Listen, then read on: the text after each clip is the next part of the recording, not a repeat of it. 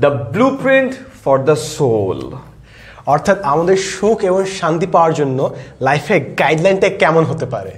এটা আমরা নিয়েছি the code of the extraordinary mind by mister Vishen তো আজকে আমরা একটা ব্লু প্রিন্ট নিয়ে কাজ করব। যে ব্লু প্রিন্টটাতে তোমরাও যদি কাজ করো তাহলে তোমাদের একটা কমপ্লিট স্ট্র্যাটেজি তৈরি হয়ে যাবে। তুমি তোমাদের সোলটাকে কীভাবে স্যাটিসফাইড রাখতে পারো অ্যাবসলিউটলি জাস্ট একটা এ ফোর সাইজের পেপার লাগবে অ্যান্ড অ্যাডভাইস যে সবাই যেন এই এক্সারসাইজটা ফলো করি তাহলে বেস্ট রেজাল্টস আমরা পাবো। ইয়াস খাতা কলম ছাড়া ভাই প্লিজ কাজটা করো না। এই ভিডিওটা দেখো and as we move forward আমরা এই তিনটা জিনিসে ফিল আপ করব তুমিও করো।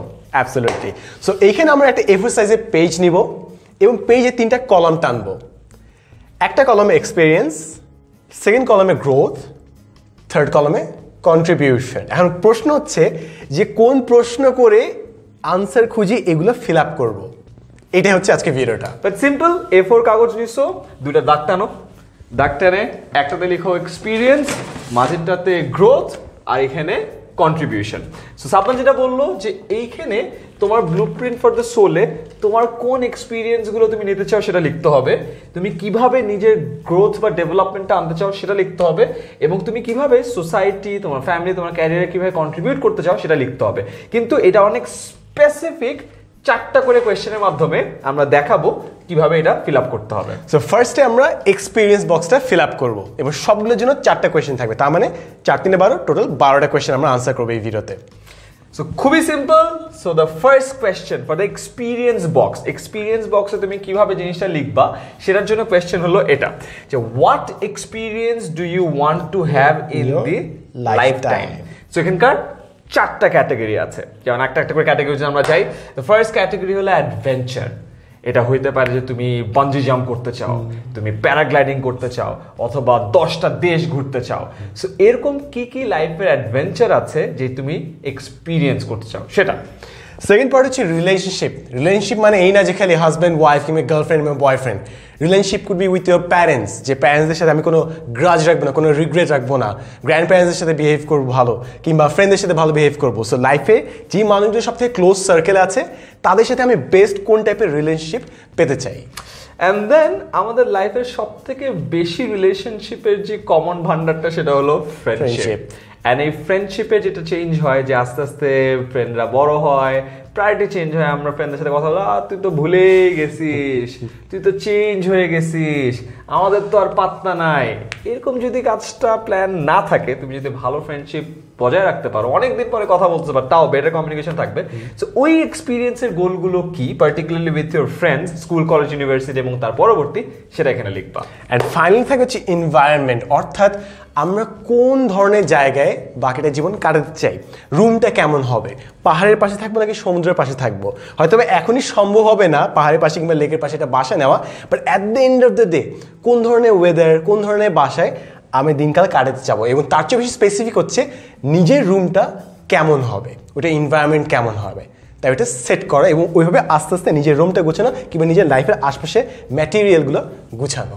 অ্যাবসলিউটলি সো এই চারটা পার্টিকুলার কোয়েশ্চেনের অ্যান্সার দিলেই তোমার যে প্রথম বক্সটা ছিল দ্য এক্সপিরিয়েন্স বক্স এক্সপিরিয়েন্স বক্সটা ফিল আপ হয়ে যাবে। এক্সপিরিয়েন্স বক্সের এই চারটা প্রশ্নের উত্তর এখনই লিখে ফেলো। And then we move on to the next box the growth box growth বক্সের জন্য আমাদের প্রশ্ন হচ্ছে how do you want to grow in life নিজের লাইফে কীভাবে আমরা আরও এক্সপ্যান্ড করব আরও সম্প্রসারিত হব? সো এটার জন্য চারটা question the first question is fitness so so so important probably আমরা আমাদের লাইফের সব থেকে ভ্যালুয়েবল যে জিনিসটা টেক ইট ফর গ্রান্টেড এটা হলো হেলথ যখন হেলথটা থাকে না যখন মানুষ অসুস্থ হয় তখন মানুষ বুঝে যে কি পরিমাণ প্যারা যায়। যেমন আজকে ফুটবল খেলছে আমার এই জায়গাটা চিড়ে গেছে। এখন আমি বুঝতেছি যে শার্ট লাগতেছে আর ব্যথা লাগতেছে। সো মেক শিওর যে তোমার হেলথের জন্য ঠিক থাকে। স্পেশালি বাংলাদেশে আমরা হেলথের ব্যাপারে বা ফিটনেসের ব্যাপারে খুবই কম কনসিয়াস হই। আশেপাশে কান্ট্রিগুলো স্পেশালি ইন্ডিয়াতে কিন্তু একটা ওয়েভ চলে আসে। সবাই পপ টপ হ্যাঁ রাইট সিনেমা দেখে সবাই হয়। এভরিওয়ান এভরিওয়ান বাংলাদেশে এটা এখনও আসে নাই। আমার পার্টিকুলারলি যেমন গত দুই মাস ধরে আমি খেয়াল করছি আবার ফুটবল খেলা শুরু করছি regularly দৌড়াচ্ছি and I feel so energetic loved it fitness second part হচ্ছে ইন্টেলেক্ট অর্থাৎ ইন্টেলেকচুয়ালি কোন পার্টে আমি গ্রো করতে চাই? অর্থাৎ বুদ্ধিমত্তার দিক থেকে কিংবা অন্যদের চেয়ে বেশি জানি কোন ফিল্ডে সো হয়তো বা কেউ সাইকোলজি নিয়ে বেশি এক্সপার্ট হতে চায়, কেউ হয়তো বা ডিজিটাল মার্কেট নিয়ে বেশি এক্সপার্ট হতে চায়। সো কোন ফিল্ডে আমি ইন্টেলেকচুয়ালি অন্যদের চেয়ে স্মার্ট হতে চাই? ন্যাশনাল লেভেলে এক্সপার্ট কিংবা ইন্টারন্যাশনাল লেভেলে এক্সপার্ট হতে চাই। That's the intellectual part I just hope এটা ট্রোলিং বা ফান পোস্ট আর কি।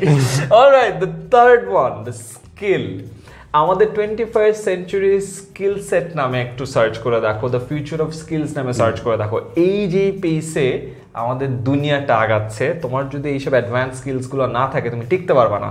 Problem solving critical thinking team work creativity আমাদের এডুকেশন সিস্টেম এমবেডেড না কিন্তু। সো এইসব skill software skill language skill কোন কোন স্কিল তোমার টার্গেটে আছে গ্রোথে লিখে ফেলো। ফাইনাল পয়েন্ট হচ্ছে স্পিরিচুয়ালিটি অনেকে এটা হয়তো বা রিলিজিয়ন হিসেবেও কনসিডার করবে। তো আত্মার উন্নয়নের জন্য আত্মার শান্তির জন্য আমি কি কাজটা করব? হয়তো বা কেউ মেডিটেশন করবে হয়তো বা কেউ নামাজ পড়বে। সো যে যেভাবে পারবে ওর স্পিরিচুয়ালি সাইডটা হ্যান্ডেল করবে। সো এক একজন এক একভাবে অ্যাপ্রোচ করে। কেউ মেডিটেশনের থ্রুতে যাবে কেউ রিলিজনের থ্রুতে যাবে। So whichever might be for you exactly your নামাজ কিন্তু একটা বিশাল বড় মেডিটেশন তুমি যদি নামাজের কোন তাসবির মানে কি এটা যদি আসলেও জানো এটা বুঝে বুঝে নামাজটা পড়ো গ্রেট হ্যাঁ ফোকাস চলে আসে তখন। অ্যাবসলিউটলি সো এই নিয়ে গেলে আমাদের গ্রোথ সেকশন থার্ড হচ্ছে contribution column which questions us যে how do you want to contribute to the world অর্থাৎ পৃথিবীতে আমি কি রেখে যেতে চাই? The legacy projects right so the first one career আমরা সবাই কাজ করি। কেউ নিজের কোনো একটা উদ্যোগ নিয়ে কাজ করে যেমন আমি কাজ করছি টেন মিনিট স্কুল নিয়ে কেউ কর্পোরেটের জন্য কাজ করে, কেউ হয়তো তার ফ্যামিলি প্রজেক্ট নিয়ে কাজ করে বাট তোমার ওয়ার্ক লাইফে তোমার ক্যারিয়ারে কি কি জিনিসে তুমি কন্ট্রিবিউট করতে চাও সেটা এখানে লিখে ফেলো। Simple career milestones second part হচ্ছে ক্রিয়েটিভ সাইড থেকে কোন জিনিসটা। কেউ হয়তো বা ভালো আঁকাকি করতে চায়, কিংবা কেউ হয়তো ভালো লেখালেখি করে কেউ হয়তো ফটোগ্রাফি করে। সো নিজে কোন ক্রিয়েটিভ সাইডটা অর্থাৎ সৃজনশীল দিকে আমি আরও বেশি মানুষকে কন্ট্রিবিউট করতে চাই, অর্থাৎ নিজেকে ভালো এক্সপ্রেস করতে পারি কোন একটা ক্রিয়েটিভ আর্ট ফর্মের থ্রুতে কারোর জন্য এটা ফটোগ্রাফি হবে কারোর জন্য এটা উপন্যাস লেখনী হবে। সো চুজ ইয়োর ফর্ম আমাদের জন্য হলে ভিডিও ভিডিও বানানো। Video format the third one is family আমার ফ্যামিলি কন্ট্রিবিউশনের পার্টটা অনেকটা ভুলেই যাই যে ফ্যামিলিতেও তো আসলে কন্ট্রিবিউট করতে হবে। Again we take it for granted বাবা মা তো এটা বলবে আম্মু তো খাবার দিবে আব্বু তো খোঁজটা নিবেই। বাট খেয়াল করে দেখো আস্তে আস্তে কিন্তু টাইমটা চেঞ্জ হচ্ছে রাইট তারা আস্তে আস্তে উইক হয়ে যাচ্ছে। তারা আস্তে আস্তে রিলায়েন্ট হয়ে যাচ্ছে। সো খেয়াল করে দেখো তোমার ফ্যামিলির প্রতি তোমার কন্ট্রিবিউশনটা আসলে কীভাবে বাড়ছে। অ্যান্ড স্পেশালি ইনার ফ্যামিলির বাইরেও কিন্তু ফ্যামিলি আছে। তোমার দাদা দাদি নানা নানি। আমি স্পেশালি খেয়াল করছি আমার নানা যখন আমার কলটা পায় সে যে কি খুশি হয় কল্পনার বাইরে। সো এই পার্টিকুলার পার্টটাতেও একটু খেয়াল রাখতে হবে। অ্যান্ড ফাইনালি দ্য কমিউনিটি সমাজ কি দিলাম? অন্য মানুষকে আমরা কি দিলাম? সবসময় মনে রাখতে হবে আমরা পৃথিবীতে একা হয়তো এসেছি, কিন্তু সবাই একসাথে বসবাস করি। সো আমাদের সবারই একজন আরেকজনের প্রতি কিছু একটা দায়িত্ব আছে কিংবা কিছুটা দেওয়ার আছে। সো আমি ইন লাইফে কমিউনিটিকে কি দিয়ে যেতে চাই সমাজ কি দিয়ে যেতে চাই হয়তো বা কেউ অর্থ সম্পদ ডোনেট করে দিয়ে যাবে কেউ হয়তো মাদ্রাসা মসজিদ তৈরি করে যাবে কেউ হয়তো ইন্টেলেকচুয়াল প্রপার্টি দিয়ে যাবে হুমায়ুন আহমেদের মতো অনেক বই হয়তো দিয়ে যাবে। সো এক একজন এক একভাবে কন্ট্রিবিউট করে ইটস আপ টু ইউ আমরা ভিডিওর মাধ্যমে ভিডিওর মাধ্যমে দিয়ে রাখছি। তো ইটস আপ টু ইউ যে আপনি কোন ফর্মেটে সোসাইটিকে অন্য মানুষকে পৃথিবীকে কোন একটা জিনিস দিয়ে যাবেন। অ্যান্ড ইয়েস এই চারটা কোয়েশ্চেনের অ্যান্সার যদি আমরা করে ফেলি আমাদের থার্ড অ্যান্ড ফাইনাল যে বক্সটা ছিল কন্ট্রিবিউশন সেটা ফিল আপ হয়ে যাবে।